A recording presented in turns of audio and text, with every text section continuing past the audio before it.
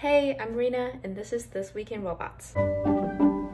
So today I want to talk about Grek. So this cute robot recently joined on stage at a NVIDIA keynote in Paris where she, yes, Grek is a little girl, showed off her ability to walk, jump, and even taking photos of everyone. And the best part is she learned all that in a simulated environment. Now imagine a baby is born and can walk and run within the first five minutes because they've already learned how to do all that. This sounds a little fantastical and I read the white paper on this technology and here is likely what actually happened.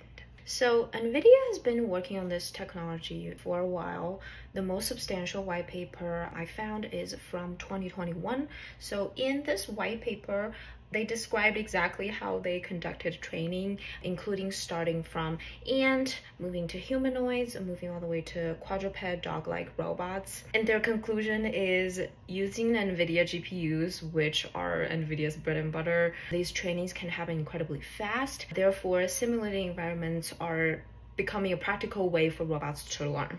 Now, here are some real limitations that other scientists have found. For example, this work shows that the simulated environments really struggle with elastic interaction and collision, uh, meaning no bouncy house for robots.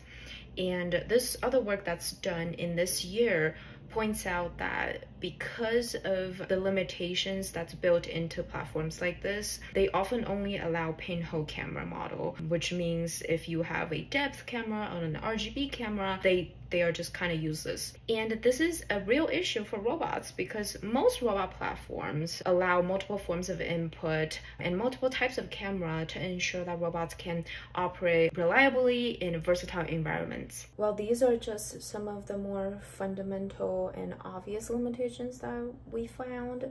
In general, our take on this is flashy robot demos are everywhere nowadays and we've got to keep in mind that these are passive demos meaning we are being shown a interaction or situation and the truth behind these robot demos are almost certainly much more messy and wobbly